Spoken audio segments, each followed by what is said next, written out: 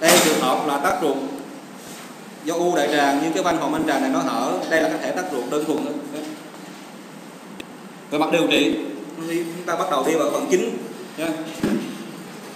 trước tiên trước một bệnh nhân có hội chứng tắc ruột nha, thì chúng ta cần phải xác định thái độ điều trị. Tắc ruột là một cái bệnh lý nặng là một bệnh lý nặng. Nếu chúng ta điều trị không tích cực thì tỷ lệ tử vong rất là cao dự hậu rất là xấu. Cho nên trước một bệnh nhân có hội chứng tắc ruột, chúng ta xác định hai điều. Xác định hai điều. Thứ nhất là gì? Ờ, Ở tắc ruột này có thể điều trị bằng phẫu thuật, có thể điều trị bằng nội khoa. Thứ hai nữa là xác định là gì? Có phải có những cái phương tiện và các thái độ điều trị như thế nào? Thứ nhất là một bệnh nhân tắc ruột muốn được giữ lại để điều trị thì cái nơi được cái nơi giữ lại điều trị đấy phải có đầy đủ phương tiện để theo dõi, cả về máy móc, cả về nhân lực. Nha, một bệnh viện tuyến quận, một bệnh viện tuyến cơ sở, nếu không đủ về nhân lực, không đủ về phương tiện này thì không nên giữ bệnh nhân tắc ruột ở lại để theo dõi. Nha. thứ hai nữa là chúng ta cần phải làm xét nghiệm.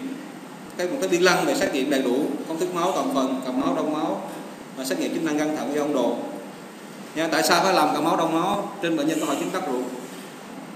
Tại vì sao? Tại vì tất cả một bệnh nhân này đều có khả năng là chúng ta phải mổ vào một thời điểm nào đấy.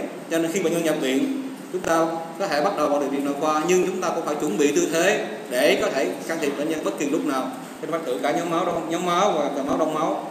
Hay thứ ba nữa là chúng ta phải cho bệnh nhân đo điện tâm đồ và siêu âm tim, đặc biệt là những bệnh nhân lớn tuổi có bệnh lý nội khoa. Và thứ tư nữa là chụp x quang ngực thẳng.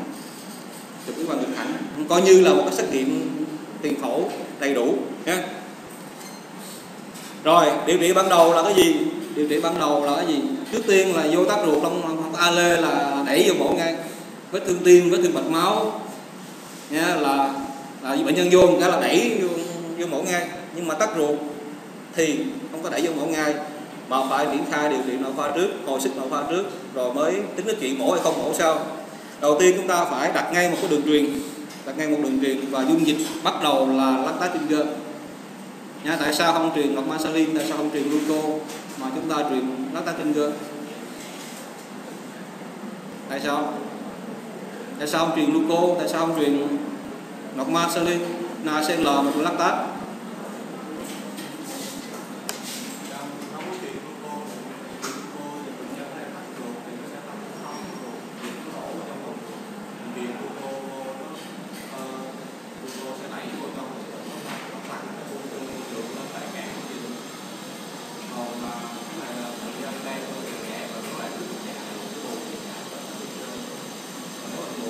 thì NaCl cũng là điện giải vậy.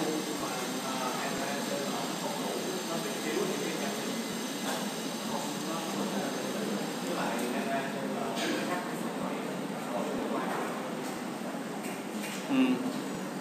nếu mà truyền truyền nhiều NaCl thì gây ra hậu quả gì?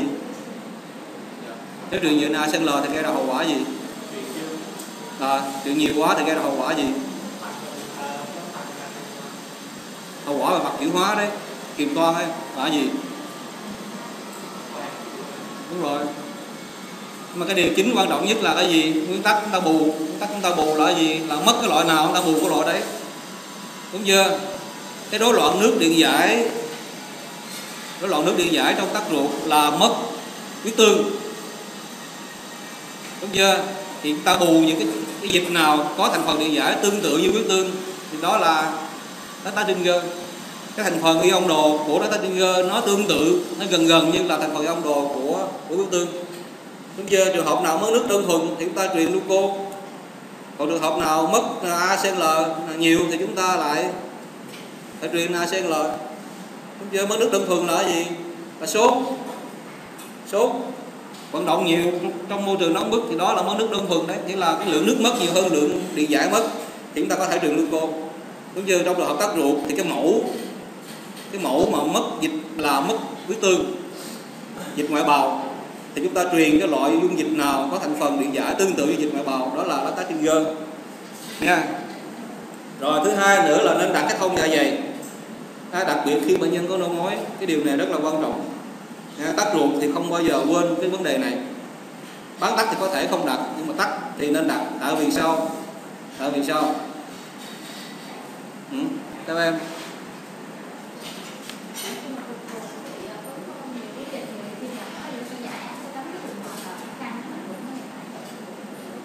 Ruột nằm tốt tuyến thấp mà làm sao đặt cái thông dạ dày mà làm giải áp ruột được. Đặt cái thông Miller Miller đó cái thông đó nó già tới cả ruột non ấy, tới tới chỗ cái tên chỗ tắc ấy, hút luôn ấy thì mới giải áp được ruột. Đúng chưa? Đặt thông dạ dày chỉ giải áp ở dạ dày thôi. Cho nên không làm giảm bớt cái độ trướng của ruột đâu. Nha, tuy nhiên mục đích thứ nhất là nó sẽ làm giải áp dạ dày. Chúng ta biết là dạ dày chứng hơi thì nó tác động trực tiếp đến cơ hoành. Đúng chưa? Như vậy là bệnh nhân khó thở là chủ yếu là do cái dạ dày nó chướng hơi, nó ép lên cơ hoành chứ ít có khả năng, không phải là do ruột nó chướng nó ép. Ruột non nó chướng thì nó sẽ làm nâng cái bụng lên về phía trước này. Cho nên là để ép cơ hoành thì cái dạ dày chướng hơi là yếu tố quan trọng nhất. Tuy nhiên, tôi nhắc lại các bạn là không phải là đặt cái thông dạ dày để làm làm giảm bớt, để giải áp dạ dày để làm cho bệnh nhân đỡ khó thở. Mà cái điều quan trọng nhất tôi nhắc lại là để để cái gì?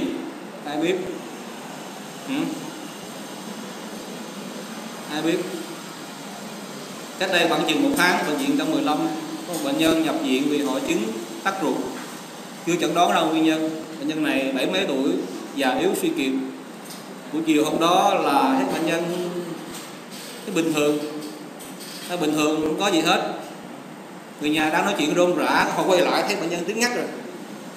Nhá không bệnh nhân tiếng ngắt rồi đó là ekip bác sĩ, y tá nhào nhào nhào tới đặt nội khí quản hồi sức. Thì khi đặt á, bạn biết cái gì không? Ở trong ở trong khí quản của bệnh nhân, trong hầu họng khí quản bệnh nhân, đầy hết cái dịch dịch mật. Nha. Coi như là nó ngập ngập lụt luôn, cả cái vùng hầu họng rồi ngập luôn. Như vậy là bệnh nhân này bị trào ngược cái dịch. Từ dạ dày trào ngược lên và nó gây ra, nó sặc vào trong đường hô hấp là cho bệnh nhân bị ngạt thở, bệnh nhân chết. Và trường hợp này cứu không có được. Cho nên cho nên là theo tôi đặt cái không dạ dày để làm cho bệnh nhân bớt khó thở là có chuyện phụ. Nhưng điều quan trọng hơn cả là để ngừa cái biến chứng phổi, đặc biệt là ở bệnh nhân lớn tuổi, cái bệnh lý nội khoa, lớn tuổi già yếu, bệnh lý nội khoa nặng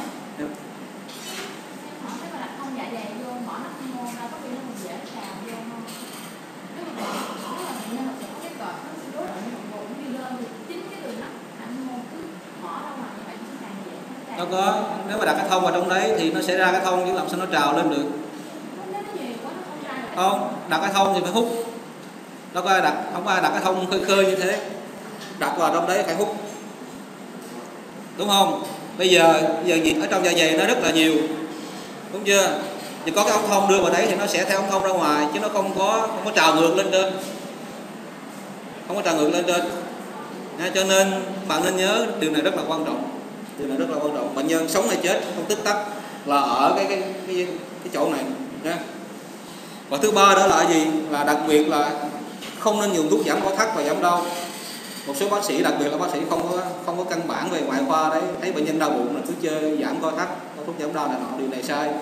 Tại vì sao? Tại vì cho thuốc giảm co thắt sẽ làm cho ruột nó, nó liệt mau liệt hơn cái hậu quả càng nặng nề hơn nữa. Nha, và cuối cùng là gì? Là bác sĩ ta hay có thói quen cho kháng sinh đối với tất cả mọi trường hợp tắc ruột dĩ nhiên thắt nghẹt ruột thì bắt buộc có cho kháng sinh rồi. Điều đó không ai bàn cãi hết. Nhưng mà tác ruột đơn thuần thì cái vấn đề kháng sinh đó có nên chỉ định hay không? Nha, bác sĩ cho kháng sinh thì người ta lọc luận rằng có sự tăng sinh vi khuẩn ở trong lòng ruột và có hiện tượng nhiễm trùng huyết tuy nhiên, cái phe mà không dùng kháng sinh, không hỗ trợ dùng kháng sinh ta lập luận rằng ở trong lòng ruột đấy, ở trong lòng ruột đấy, nha vi khuẩn nó tăng sinh. Nhưng mà cái khả năng vi khuẩn đó vào trong tuần hoàn là thấp. Thấp. Cho nên cho nên cái, cái phe mà không dùng kháng sinh người ta nói rằng chỉ nên dùng trong trường hợp bệnh nhân có sức sức đề kháng nó giảm. Thôi. Và thống kê cho thấy rằng việc dùng kháng sinh ở trong một trường hợp tác dụng đơn thuần thì không làm thay đổi cái dự hậu. Không làm thay đổi dự hậu. Tại sao phải bàn qua bàn lại nhiều thế? Dùng kháng sinh hay không dùng có gì lạ đâu tại sao phải bàn với nhau là dùng hay không dùng chứ tại vì ở Việt Nam và nước khác ở nước ngoài là một cái một cái mũi thuốc. Cũng phải tính bằng tiền. Cho nên ta cân nhắc từng cái mũi thuốc một, đặc biệt là kháng sinh. Rồi, trong trường hợp bệnh nhân có chỉ định bảo tồn, chúng ta cân nhắc lại là gì? Điều trị tắc ruột này có thể bảo tồn, có thể có thể ngoại khoa. Các bạn bỏ khái niệm trong đầu là tắc ruột là bệnh lý phải mổ. Có trường hợp bảo tồn nó qua bệnh nhân khỏi phải tốt cuộc mổ. Nha. Thì trong trường hợp có chỉ định điều trị bảo tồn, chúng ta tuân theo nguyên tắc là cái gì? Là phải theo dõi sát bệnh nhân, phải thăm khám nhiều lần chụp x quang nhiều lần. Nha. X quang nhiều lần là là thời điểm là cái mức độ đó, cái độ lặp đi lặp lại đấy là thường xuyên cỡ nào. Thăm khám thì nên thăm khám khoảng vài ba tiếng 3 tiếng một lần. Còn nếu x quang thì trung bình là chụp x quang 6 giờ. Một một bệnh nhân tắc ruột có chỉ định điều trị bảo tồn thì nên chụp x quang mỗi 6 tiếng. Nha và điều cuối cùng, nguyên tắc cuối cùng là cái gì? Là chúng ta nên mạnh dạn chỉ định phẫu thuật. Nếu như kết quả bệnh nhân diễn ra không có như mong muốn của chúng ta rồi trong trường hợp, trong trường hợp bệnh nhân có chỉ định phẫu thuật, thì có cần phải mổ khẩn hay không? Trừ trường hợp thắt ngạt ruột. Còn lại, nếu trường hợp thắt ruột đơn thuần, thì cho phép chúng ta hồi sức một vài giờ trước mổ. Tại vì sao? Cái hồi sức bệnh nhân đấy, chúng ta trì hoãn cuộc mổ một vài tiếng nhưng cái tiên lượng bệnh nhân sẽ tốt hơn là chúng ta mổ ngay tại vì sao? Chúng ta hồi sức thì chúng ta sẽ lắp đầy, bổ sung cái sự thiếu hụt trong nội bào, trong lòng mạch, xin lỗi trong lòng mạch. Mà chính cái sự thiếu hụt trong lòng mạch đấy mà chúng ta đem ra chúng ta mổ, thì nhiều khi bệnh nhân sẽ có cái hậu quả còn xấu hơn. Đúng chưa? Bây giờ bệnh nhân bị mổ tắc ruột mà cái trong lòng mạch thì thiếu thiếu hụt, sẽ dẫn đến hậu quả gì? Nhân bị suy thận, bệnh nhân bị bệnh lý tim mạch nhân nhồi máu cơ tim trong lúc mổ này nọ. Nha điều kiện tối ưu để mổ là cái gì? Là bệnh nhân phải có huyết động học ổn định. Nha chức năng tim phổi được tối ưu hóa tối ưu hóa nha. Và HCT tối thiểu là 25 đến 30 phần trăm. Trong trường hợp có chỉ định truyền máu trong trường hợp có chỉ định truyền máu thì bắt đầu truyền nước mổ và có thể tiếp tục trong lúc mổ. Giả sử bệnh nhân bị tắc ruột HCT là 20 phần trăm. Đúng chưa? Giờ mấy thầy mấy anh mà cắt cớ là giờ, giờ truyền được mổ hay là hay là mổ xong rồi truyền mày? Nha, thì trả lời là gì? Truyền ngay trước mổ. Và tiếp tục trong lúc mổ luôn. Tại sao không đợi mổ xong rồi truyền? Chính cái sự thiếu máu trong lúc mổ đấy nó sẽ gây cái hậu quả sau mổ. Đúng chưa? Người ta chỉ truyền máu sau mổ, trong trường hợp máu nó đang, máu nó đang chảy. Trong trường hợp vết thương mạch máu, trong trường hợp xuất huyết tiêu hóa này nọ, vân vân. Khi nào cầm được máu rồi, thì bác sĩ ta mới, ở ngoài, ekip ở ngoài đấy, bác sĩ gây mê đấy người ta mới truyền máu truyền vô. Tại vì nếu mà cái mạch máu đang đang phun đúng chưa? Mà chúng ta truyền vô nó ra hết. Còn trường hợp này lại khác. Ha, cho nên là nếu là xuất tiêu hóa nếu mổ vì xuất tiêu hóa nếu mổ vì xuất huyết nội nếu mổ vì một cái vết thương mạch máu vân vân. Nha. Thì hồi sức trước đó bằng dịch truyền trước đã. Rồi khi nào đã khống chế được máu chảy rồi ta bắt đầu ta truyền máu. Nha.